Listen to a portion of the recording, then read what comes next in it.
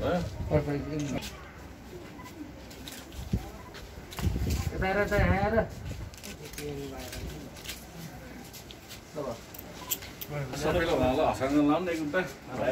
निमन्त्रण पनि सहर शिकार यो कार्यक्रममा उपस्थित हुनुहुने सम्पूर्ण पत्रकार साथीलाई विशेष गर्दै आफ्नो के भनाइसहित यस कार्यक्रमको समापन गरिदिनुको निमित्तमा नेपाल बाल सङ्गठन विकास सभापति राजेश साक्यज्यूलाई हार्दिक अनुरोध गर्दै हवस् नमस्ते धन्यवाद धन्यवाद। कार्यक्रम सञ्चालक मित्र सन्दीप खर्तीजीलाई अ, यो यु क्यान लभ डेको प्रतिनिधि अस- अस्ट्रेलियाका प्रतिनिधि उपेन्द्र भाइ। र उपस्थित पत्रकार महासङ्घका उपाध्यक्षज्यू लगायत सम्पूर्ण पत्रकार मित्रहरू र बाल गृहका कार्यालय प्रमुख लगायत सम्पूर्ण कर्मचारी मित्रहरू र उपस्थित बाल गृहका भाइ बहिनीहरू यो बाल गृहलाई हालसालै केन्द्र सरकारको निर्देशनअनुसार यो चाहिँ बाल गृहलाई चाहिँ अलिकति व्यवस्थित रूपमा लैजानको लागि यो पुरानो समितिलाई डिजल गरेर हालसालै मात्रै एउटा चाहिँ पत्रलाई चाहिँ प्राप्त भएको जानकारीको छ। मैले चाहिँ कुनै पनि अझसम्म यहाँ आएर कार्यक्रम गरेको यो पहिलो हो। मैले उहाँहरूले चाहिँ पुरानो समितिले कम्तीमा पनि भएका आर्थिक गतिविधिहरूको वासलात र जति पनि सम्पत्ति नगद तथा जिन्सी चाहिँ उहाँहरूले चाहिँ सहज रूपमा जुन एउटा चाहिँ प्रक्रियागत रूपमा आएकोमा उहाँले चाहिँ ह्यान्डओभर गर्नुहुन्छ भन्ने मैले जुन विश्वास लिएको थिएँ। त्यो चाहिँ विश्वास अलिकति यसमा चाहिँ टगा रूपमा आइरहेको छ। एउटा उहाँहरूको आरोप चाहिँ एउटा हुकुमी शैलीको चाहिँ अध्यक्षको रूपमा उहाँले जुन ब्लेम लगाउनु भएको छ। त्यो चाहिँ होइन यो चाहिँ मेरो व्यक्तिगत भन्दा पनि एउटा चाहिँ केन्द्रीय नीतिगत रूपमा मलाई चाहिँ यो संस्थाको चाहिँ सभापतिको रूपमा केन्द्रीय बाल सङ्गठनले चाहिँ मनोनित गरेर पठाएको हुँदा मैले चाहिँ अलिक यो तिन खालको योलाई एउटा मोडालिटी बनाएको छु।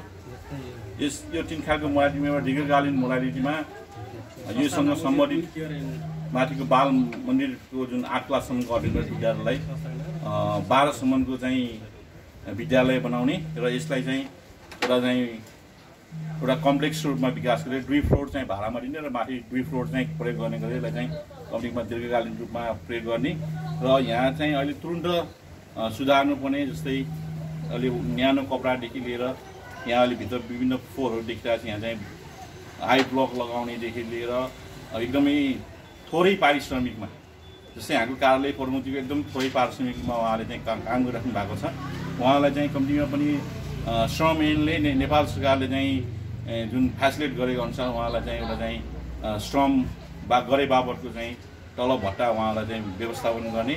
र यहाँ चाहिँ जति पनि अहिले चाहिँ जम्मा तेह्रजना विद्यार्थीहरू छ त्यो त्यो भाइ बहिनीहरू हुन्छ त्यहाँ कम्तीमा पनि जिल्लामा यो यस्तो समस्या भएर धेरै चाहिँ भाइ बहिनीहरू हुनुहुन्छ। उहाँहरूको कम्तीमा पनि यहाँ चाहिँ पचासदेखि सत्तरीजनाको क्षमता यसलाई अभिवृद्धि गरेर यस्तै अनाथ बालबालिकाहरूलाई चाहिँ आश्रय दिनको लागि यो बाल सङ्गठनले अलिक थप काम गर्नेछ।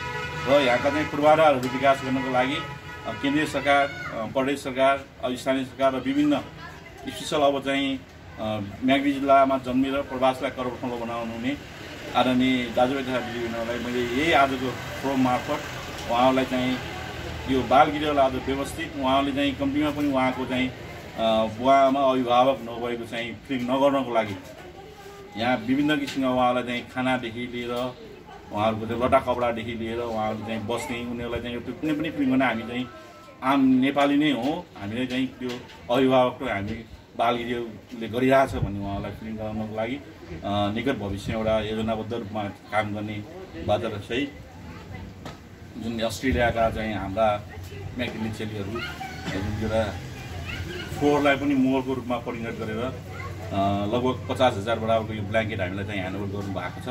उहाँलाई पनि उपेन्द्र भाइ मार्फत उहाँलाई चाहिँ धेरै धेरै धन्यवाद। सुनाइदिनु हुनलाई साथै मना अस्ट्रेलियाका अध्यक्षज्यू लगायत सम्पूर्ण परिवारहरूलाई पनि धेरै धेरै धन्यवाद। सहित आगामी दिनहरूमा पनि यस्तै सहयोग सल्लाह सुझाव र यो बालगृहलाई अझै राम्रो र सुव्यवस्थित बालगृह नेपालकै एउटा उच्च र व्यवस्थित बालगृहको रूपमा विकास गर्न सम्पूर्ण यहाँका सञ्चारकर्मी मित्रहरूलाई पनि केही गल्ती कमी कमजोरी भएको भए अँगाल दिएर अझ यो बालगृहलाई चाहिँ सुधारमुख बनाउन हजुरहरूले जुन सहयोग गरिनुहुन्छ भन्ने आशा लिँदै स्पेसल उपेन्द्र भाइलाई धन्यवाद दिँदै आजको कार्यक्रम यहीँ समापन भएको जानकारी गराउँछु हस् धन्यवाद नमस्कार।